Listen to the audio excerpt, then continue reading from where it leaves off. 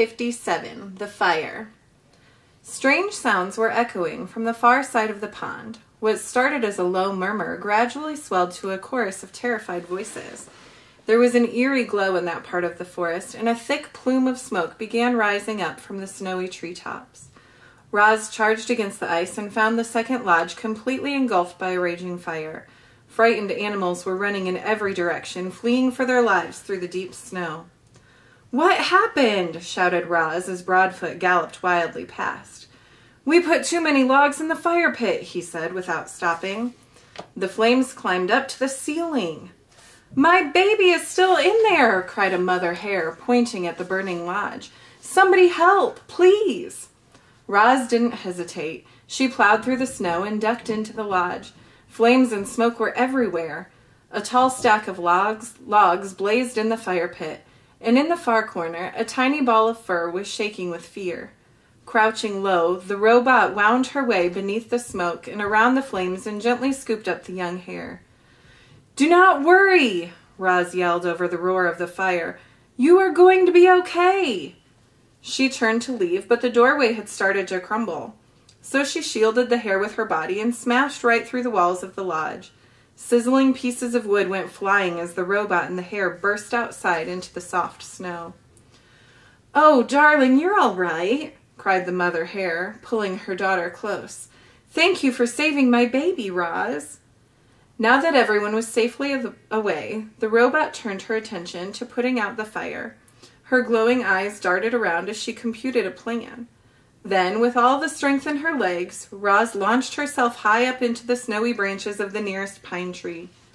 A moment later, the tree was shaking violently, and heaps of snow were sliding from its branches and pouring onto the flames like an avalanche.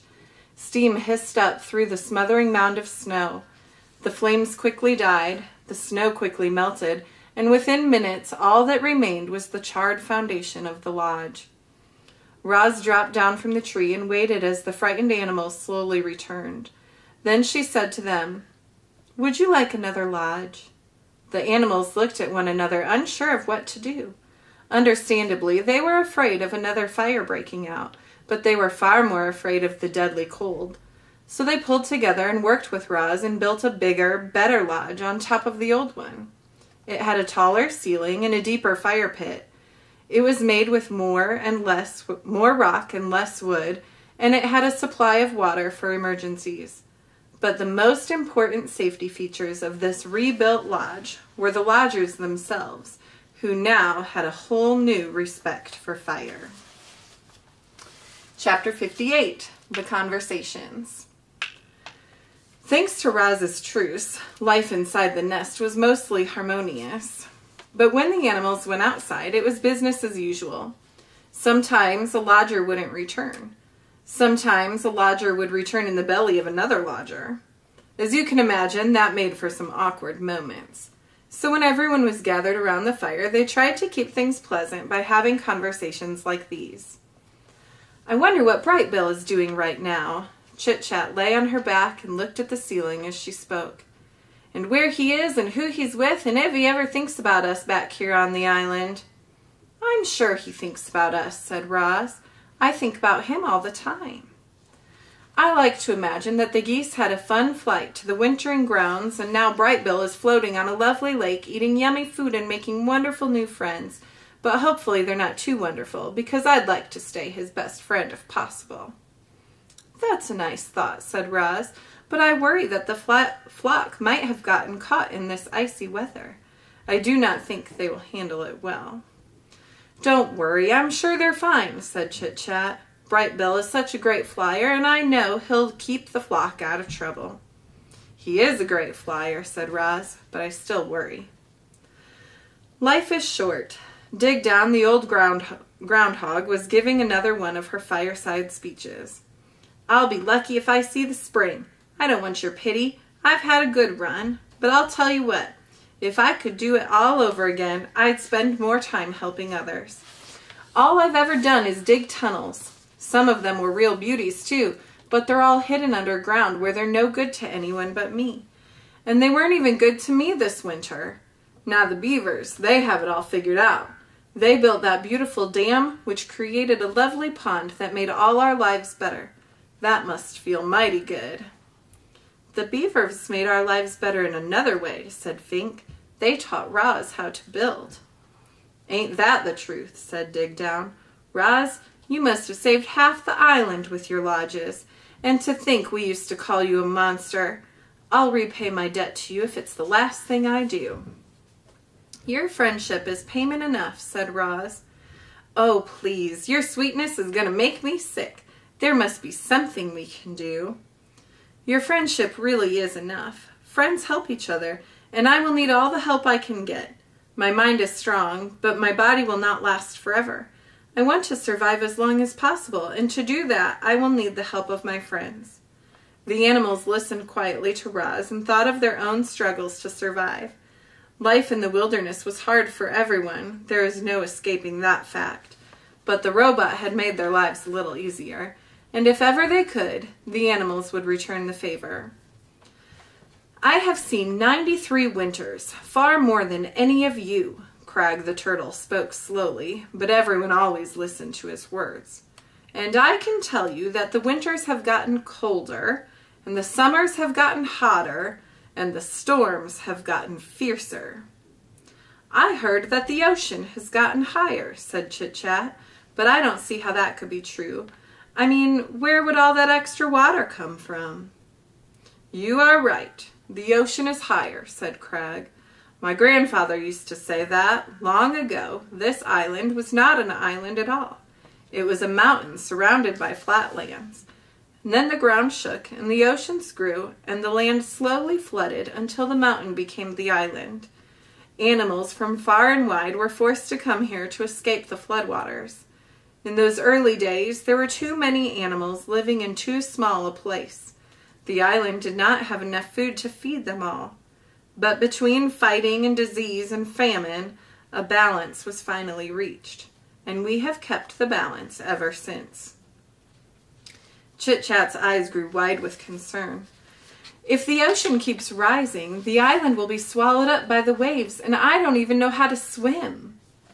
If the waves ever do swallow this island, it will not happen for a very long time, said Crag.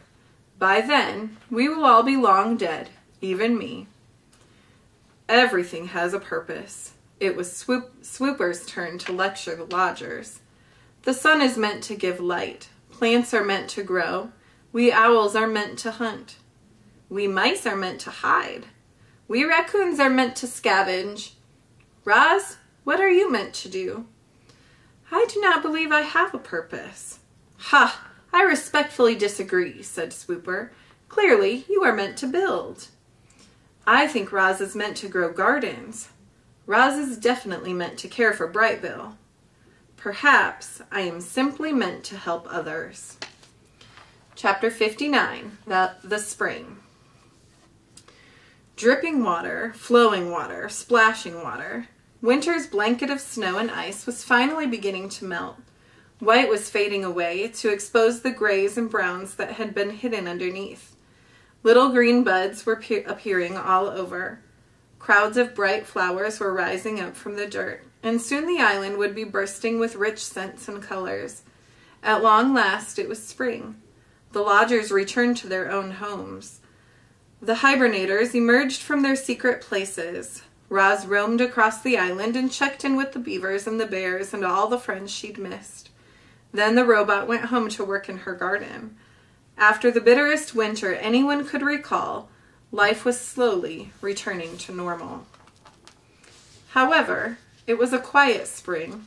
There were fewer insects buzzing, fewer birds singing, fewer rodents rustling.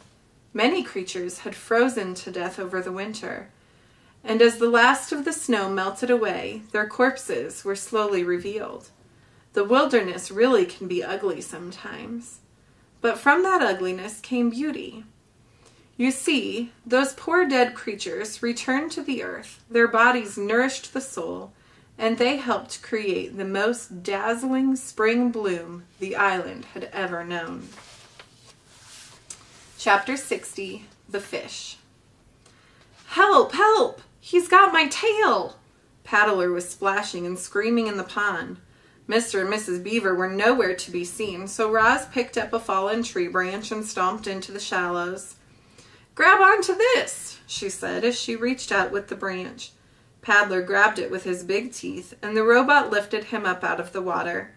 And there, hanging from the young beaver's tail, was Rockmouth, the grumpy old pike. In one quick movement, Roz pulled in the branch and gripped the fish with her two hands. Paddler flopped into the water where his parents suddenly appeared. What is wrong with you, Rockmouth? Mrs. Beaver dragged her son away. You've always been a nuisance, but this time you've gone too far. Do us all a favor, Roz, and toss him to the vultures. I cannot do that, said the robot, but I might be able to help. Roz placed Rockmouth in a deep puddle near the pond where he couldn't swim away. Then she waited for the fish to explain himself. Fish aren't very talkative, especially grumpy fish like Rockmouth. But eventually he opened up to the robot, and before long she was waving for the beavers to join them. Rockmouth used to live in the river, said Roz as the beavers shuffled over. But you trapped him here when you built your dam. He's been angry about it ever since. That doesn't give him the right to attack my son, hollered Mr. Beaver. It most certainly does not, hollered Mrs. Beaver. I'd be upset too, said Paddler softly. I'd hate to be kept away from my home. Mr. Rockmouth, you should have said something sooner. The fish looked up from the puddle with a frustrated expression that meant, I tried, but no one was listening. Well, the situation had to be remedied, and you can guess who rose to the occasion. Roz was determined to get Rockmouth back to his home. After she explored the nearby waterways, it became clear that she would have to carry the great pike through the forest and across the great meadow to the nearest bend in the river. I need a large container, said Roz to the beavers. Something I can fill with water so Rockmouth can breathe while I carry him home. I could make it myself, but I thought you might like to help. It couldn't have been easy to overcome her anger with Rockmouth, but after Mrs. Beaver had a chance to cool off, she finally came around. I suppose we're partly to blame for this whole situation, she muttered. Then the beavers did the right thing, and together they carved out a wooden barrel for the fish. Here you go. Mrs. Beaver rolled the barrel over to the puddle where the robot and the fish were waiting. This should work nicely. Rockmouth, I hope you're happy back in the river. Rockmouth just flicked his tail in a way that meant, Will someone please take me home now?